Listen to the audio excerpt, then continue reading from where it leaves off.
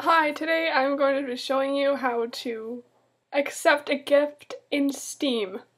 Oh my gosh, I got my first gift on Steam. I'm so excited. One new gift.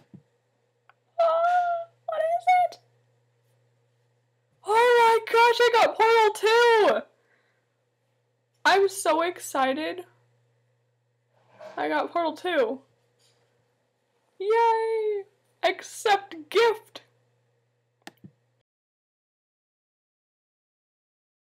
Okay, so I accepted it, so I'm going to add to a library. I'm going to download it. Install.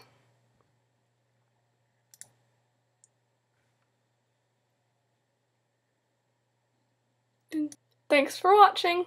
How to accept a gift in Steam. Bye.